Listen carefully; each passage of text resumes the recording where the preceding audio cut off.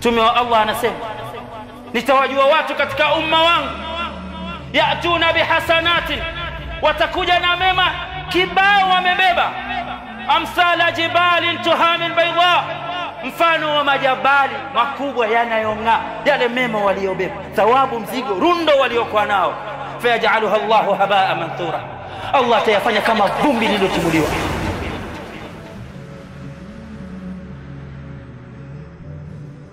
Thauban kwa hofu yake akamwambia Rasulullah, sifhum lana, tuelezee hawa ni watu wa aina gani?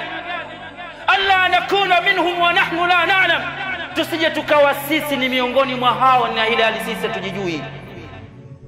Mtume wa Allah akasema, ama innahum ikhwanukum, ama innahum ikhwanukum, ama watu wa aina hii ikhwanukum, ni ndugu zenu ومن جلدتكم نني كتك كزازي تشين إنما أنا بني البشر بني آدم كتك أمة محمد صلى الله عليه وسلم يأخذون من الليل كما تأخذون ونسمام أوسيكو ونفنى إبادة كما في لأمباب نيني منفنى ولكنهم أقوى ولكنهم أقوى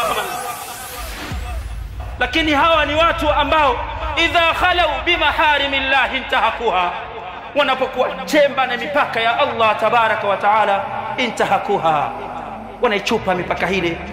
Yubarizuna Allah bil maasi, wanapambana na Allah tabaraka wa taala kwa kumwasi Allah tabaraka kwa kumwasi Allah tabaraka wa taala. Radio Iman FM.